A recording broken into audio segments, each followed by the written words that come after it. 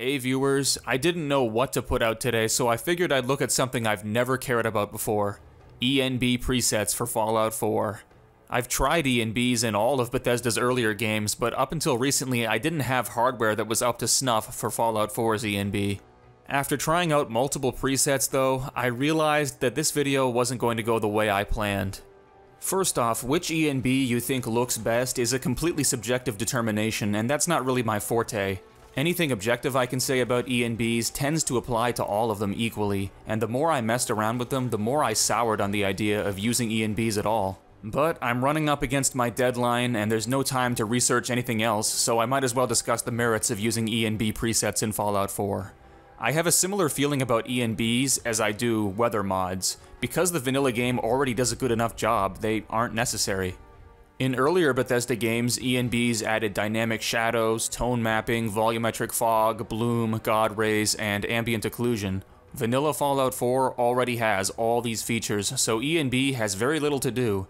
When toggling ENB on and off, it's remarkable how little actually changes for such a massive reduction in performance you're often losing one third or more of your frame rate for some crappy screen space effects.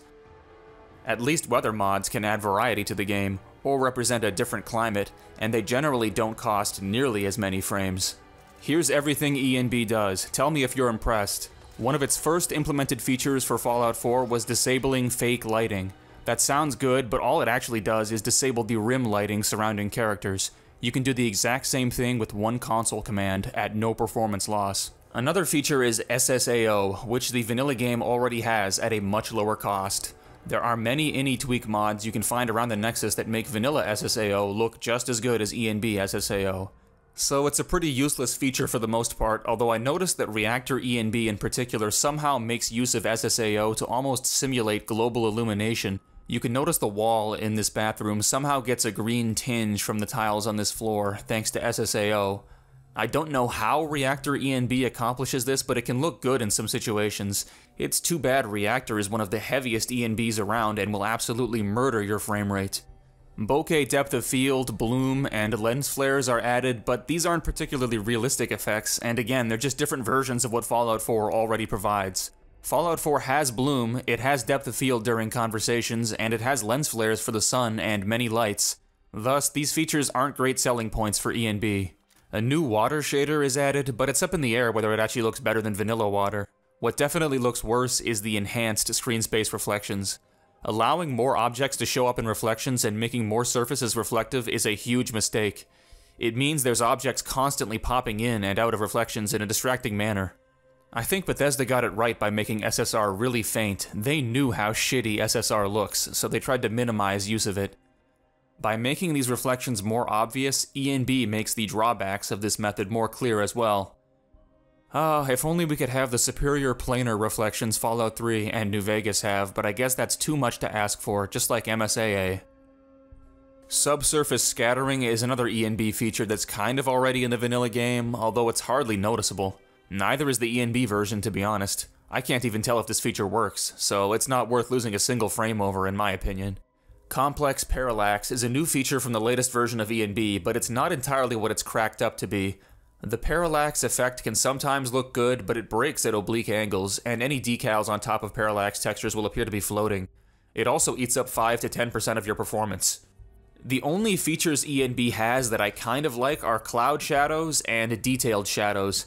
Cloud shadows are pretty self-explanatory. Depending on the weather, there will be massive shadows covering large parts of the landscape. They seem to be at least somewhat based on the actual clouds in the sky, which is awesome. They also have very little performance impact from what I measured. Detailed shadows are really just screen space shadows, which add some nice shadowing to small objects like grass that don't cast shadows in vanilla. Because of their screen space nature, when the object casting a shadow moves off screen, the shadow disappears too, but with smaller objects like grass, this is hard to notice. Most ENB presets use detailed shadows to try to simulate contact hardening shadows and reduce the Peter Panning effect, where shadows don't properly originate from the object casting them due to issues with traditional shadow maps. But these two good effects are not worth losing 10 to 15% of your frame rate over, in my humble opinion. That is, unless you have a ton of unused overhead above your monitor's refresh rate, which is a possibility if you're using a 60Hz monitor and you have a very powerful GPU. But you could also spend that overhead on increasing shadow draw distance or shadow map resolution. It could also be spent on rebuilding higher detail LODs, or maybe on adding vegetation to make the Commonwealth more lush. There's a lot of things I would improve before bothering with ENB. So yeah, that's my video. I know it's kind of crap and probably not what you wanted, but that's the way it goes sometimes. I'm going to crawl back into the swamp known as Nexus Mods so I can deliver something less disappointing next week. Toodles!